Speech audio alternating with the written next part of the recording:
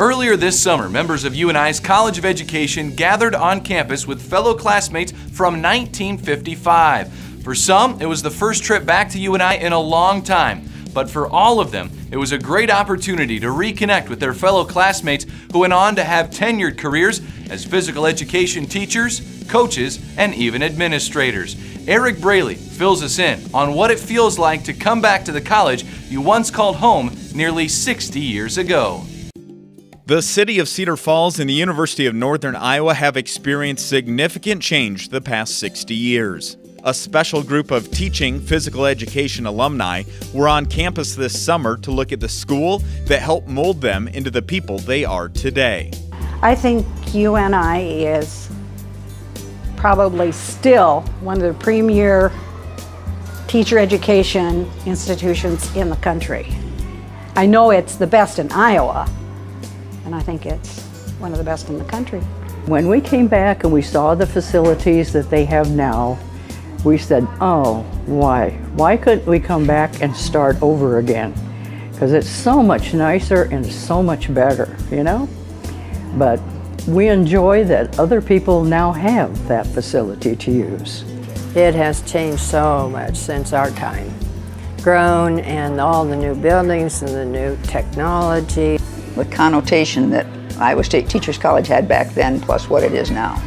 It's just fantastic to be a part of this. This group has made a positive impact on students and athletes across the country as they devoted many years to the teaching and coaching profession. I retired from Mankato State. I was up there for 29 to 30 years. Started the women's swimming team, didn't have any coaching background. Coached the women's golf for a number of years and was department chair plus doing teaching. And I taught at Mesa and I coached and I was assistant athletic director. And I taught tennis, had a coaching team tennis, and uh, running, cross country running. And I just enjoyed the whole experience. It's a wonderful city and it's a wonderful place and wonderful people there too. And just as friendly as the people in Iowa that I've met and enjoyed. And uh, I loved every bit of it. To feel then that I accomplished quite a bit in helping them grow and I know that as a fact because students would come back and say thank you. And so that helped me and that helped them. These alums have made the university and College of Education extremely proud with their accomplishments in the field of physical education and athletics. And this group of ladies brought out the very best in each other. The uh, personality of this group is just is something else. They, you very seldom see anybody that's sad, uh, that will not help somebody else if they need it.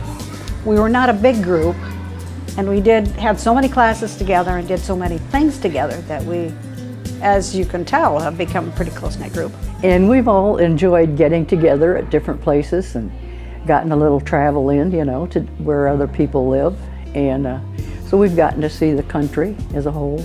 Uh, their life values and lifestyles, healthy, but not just in physical healthy, but I think in um, finding fulfillment in life. They do things that are enthusiastic and helpful to other people. We probably wouldn't have made it if we hadn't been together. We supported each other, and well, we just had everything together all the time. Well, we had a great time, whatever we were doing. Sometimes we got together and laughed, and sometimes we got together and cried, and sometimes we just had to help each other out. If uh, somebody had a problem, we tried to solve it, and uh, but we had lots and lots of good times.